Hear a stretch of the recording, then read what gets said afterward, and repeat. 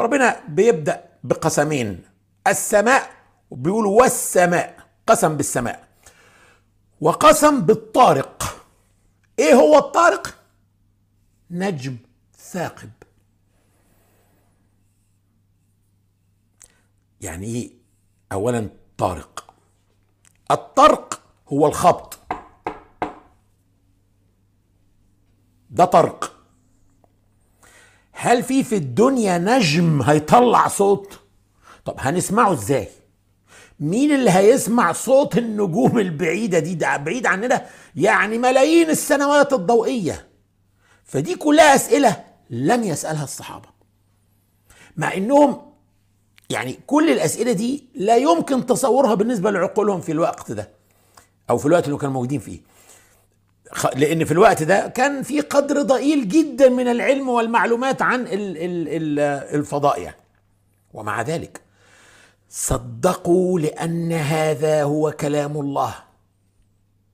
بعد 14 قرن ينشأ علم اسمه علم الفضاء يرسل علماء للفضاء يرسل رواد فضاء يرسل تلسكوبات ذرية على حدود المجرة بتاعتنا. تكتشف أن هناك نوعا من النجوم عجيب يصدر طرق طرقات وحجمه صغير في حجم مدينة زي مدينة القدس كده. حجم النجم قد حجم مدينة واحدة. لكن كتلته وزنها ممكن يوصل لكتلة الشمس.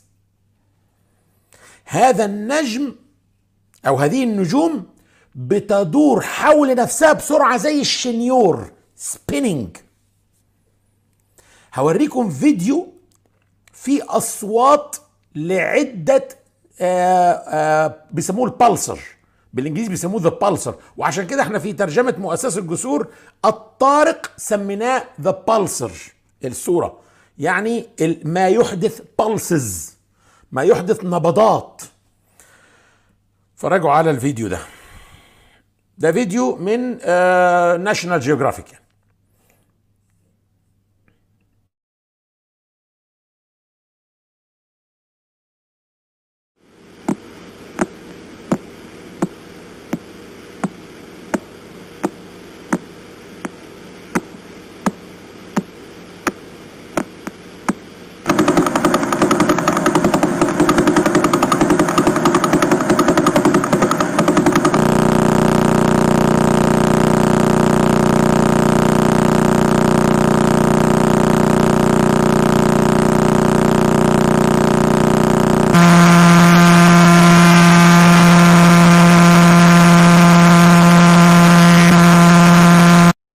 بالرقم بتاعها ممكن تروح تطلعها وتقرأ عنها وتشوفها موجودة في أي مجرة من المجرات وتقرأ عن البلسر ده.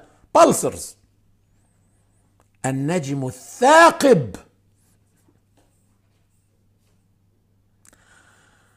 اذا القسم بالسماء وبنوع من النجوم خاص جدا. يصدر طرق وثاقب بيثقب يثقب إيه؟ ما نعرفش. ما نعرفش. ثاقب ربنا بيقول على النجم الثاقب. هل بقى انه ضوءه ثاقب في الظلام؟ الله أعلم. قد نقول كده وتطلع حاجة تانية بعد 100 سنة 200 سنة الناس تكتشف حاجة تانية.